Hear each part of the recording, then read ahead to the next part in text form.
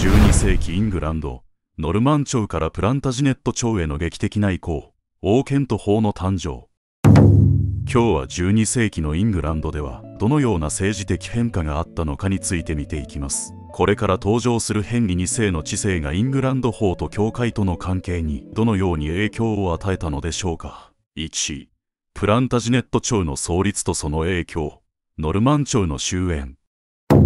12世紀のイングランドは政治的及び法的構造が大きく変化しヨーロッパでも際立った進化を遂げました。この時代ノルマン朝からプランタジネット朝への移行が重要な転換点となりました。ノルマン朝のウィリアム征服王の息子ヘンリー一世が亡くなった後彼の娘マティルダとその息子アンジェイ伯ヘンリの権利をめぐる争いが起こりました。この混乱の結果アンジェイ伯ヘンリが王位を継ぎプランタジネット朝が創始されました。彼の即位は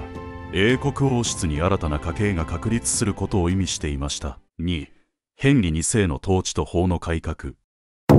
ヘンリー2世の統治下での法の改革は中世イングランドの法制度に革命をもたらしました。彼の即位によりプランタジネット朝が確立します。見ていきましょう。ヘンリー2世の法制改革。中世イングランドの法の革命。ヘンリー2世の統治は中世イングランドの法制度における重要な転換点として位置づけられます。彼が即位した時プランタジネット朝が新たに確立されたことで英国内の権力構造に大きな変化が生じました。ヘンリ2世は貴族の私的裁判権を制限し法の執行を国王の直接的な管理下に置くことで王権を中央集権化しました。これにより法体系が一新され国王裁判官による巡回裁判が導入されました。この巡回裁判制度は従来の宣誓による証明や法廷決闘に依存する裁判方式から事実調査と証拠に基づく審理へと移行しました。国王裁判官たちはイングランド全土を定期的に巡り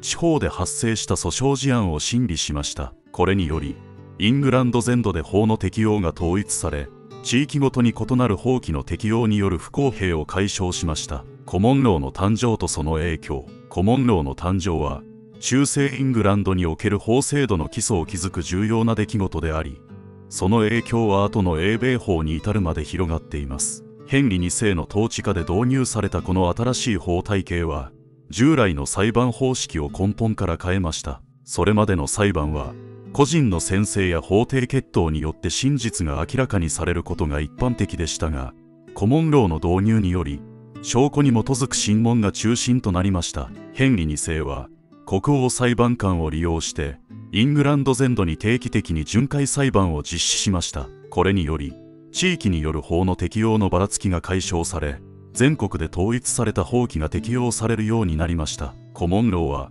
特定の判例に基づいて発展し法の予測可能性と一貫性を大幅に向上させました。この法体系は判例に依存することで法の解釈と適用において一定のガイドラインを提供し裁判所が同様の事案に対して均一な判断を下すことを可能にしました。さらにコモンローの確立は裁判の公正性と効率性を高めることにも寄与しました。裁判所が事実関係を厳密に審査し法的な議論を通じて公正な判断を下すことが求められるようになりました。これにより裁判過程全体の信頼性が向上し社会全体の法的安定性が保たれるようになったのです。コモンローの導入はイングランドが中世ヨーロッパにおいて最も進んだ法体系を持つ国の一つとなるための基盤を築きました。3国王と教会の対立。ヘンリー2世の地下では国王の権力強化が教会との深刻な対立を引き起こしました。彼の宗教と外交についても見ていきましょう。ヘンリー2世とトマス・ベケットの権力闘争。ヘンリー2世の治世下での教会との衝突は中世イングランドの政治と宗教の歴史において重要な転換点です。この対立はヘンリー2世の国王としての権力強化策と教会の独立を守ろうとするカンタベリー大司教トマス・ベケットとの間の深刻な権力闘争に発展しました。ヘンリー2世は裁判制度の改革と法の統一を推進しこれにより国王の権威が強化されましたが教会の伝統的な権利と自立性が脅かされる結果となりました。特に注目されるのはヘンリー2世が教会の裁判権を国王裁判所の下に置く法改正を推進しようとしたことです。これにより教会が享受してきた司法上の特権が削減されることになり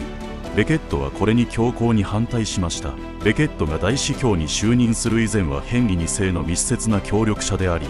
その政策を支持していましたが大司教就任後は教会の権利を守るために変貌しました。この対立はベケットが1170年にカンタベリー大聖堂で暗殺されるという衝撃的な事件によって頂点に達しました。彼の死は国王と教会の関係だけでなく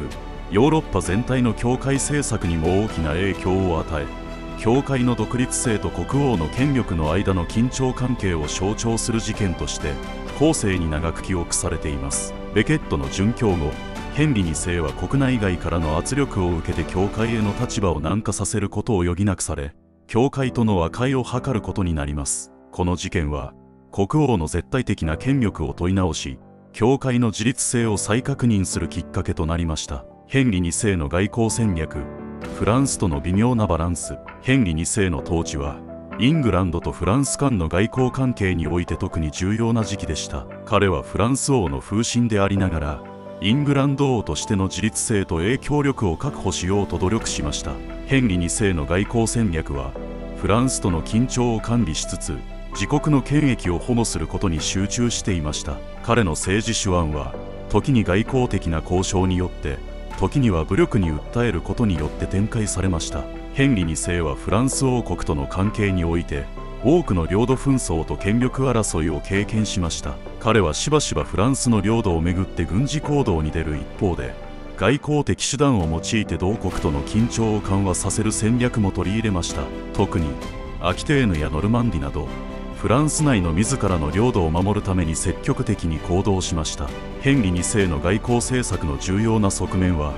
フランスとの微妙な力のバランスを保ちながらもヨーロッパ全体におけるイングランドの立場を強化しようとしたことにあります。彼の統治は中世後期のヨーロッパにおける王権の展開と国際関係の複雑さを示す恒例です。彼の外交戦略によってイングランドとフランス間の長期的な競争と対立の基礎が形成されこれが後の100年戦争へとつながる土壌を築いたと考えられます。まとめ。ヘンリー2世の治世はイングランドの法制度と教会との関係に大きな変革をもたらしました。彼の導入した制度は国の統治を安定させ後世に大きな影響を与えることとなります。今回は12世紀イングランドの政治的変革に焦点を当ててみました。この動画が面白かったらぜひいいねとチャンネル登録をお願いします。次回も歴史の興味深い話題でお会いしましょう。さようなら。